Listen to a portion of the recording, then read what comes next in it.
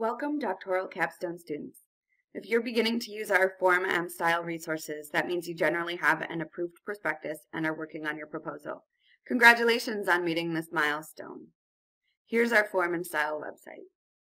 We provide resources on general capstone writing expectations, APA style, scholarly voice, formatting, the writing process in general, and offer live editing Q&A sessions. As you probably already know, the Writing Center has two offices. The Office of Writing Instruction is staffed by full-time writing instructors who are experts at teaching academic writing. Their goal is to help you develop your academic writing skills throughout your coursework and in the beginning of your doctoral program. The Office of Academic Editing is staffed by full-time dissertation editors who are experts at editing students' final doctoral capstone documents via the form and style review, as well as helping students prepare and write the capstone. That's what we will focus on in this video today, our capstone writing and formatting resources on our Form and Style website. First, we would like to highlight our templates page. On this page, you will find the template for your program and step in the process, as well as resources for using the template. Next, we would like to mention our APA and writing resources page. On the APA page, you will find resources for capstone APA citations, references, table and figure formatting, etc. On the Writing tab, you will find resources on grammar and mechanics, reading to write, self-editing, and scholarly voice. We would also like to draw your attention to our capstone starter kits.